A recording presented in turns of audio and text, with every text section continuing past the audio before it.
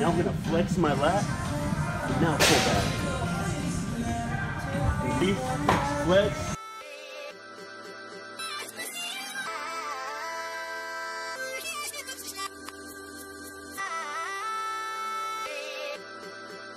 Storm.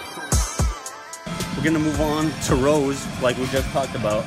So we're gonna go fairly heavy. We're gonna go like six to eight reps uh, where there's like one or two left in the tank.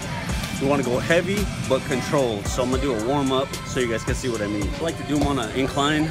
Uh, there's no incline benches, so we're gonna use a decline, but I like a higher area just because uh, it aggravates my knee from my knee surgery when I do the flat bench. So let me show you how to do this. We're go here, straight back. Here, straight back.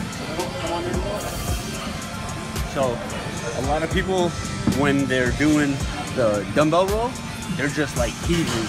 All right, so we could go heavyweight and heave. That's not gonna get our back. That's gonna work more our bicep. So I'm here, and just think of pulling with your elbow. All right, so we're pulling here and come straight up. And it's not as far in as we could go. You want to think of how high up you could go. So how high up can I pull my elbow? So I'm here. If I can go further than this, then I don't want to turn my body because that's going to defeat the purpose of it. All right.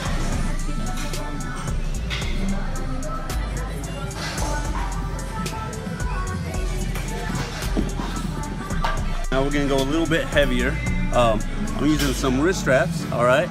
Shout out Pump Chaser. Shout out to hey, Pump shout out to Chris Jones. you know, there's a give and take with using wraps, all right?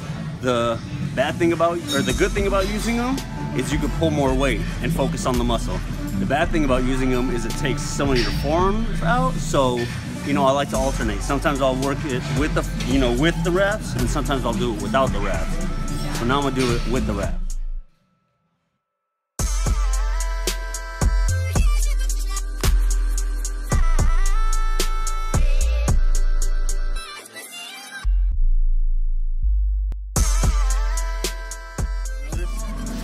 Going really slow on these reps, all right?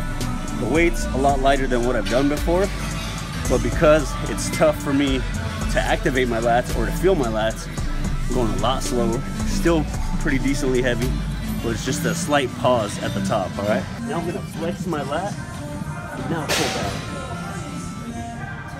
Release, flex,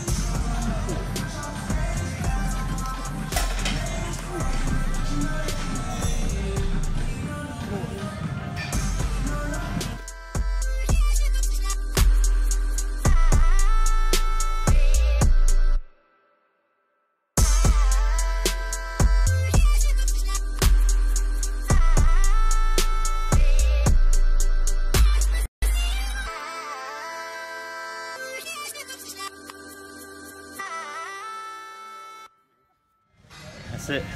Cut it. Cut it.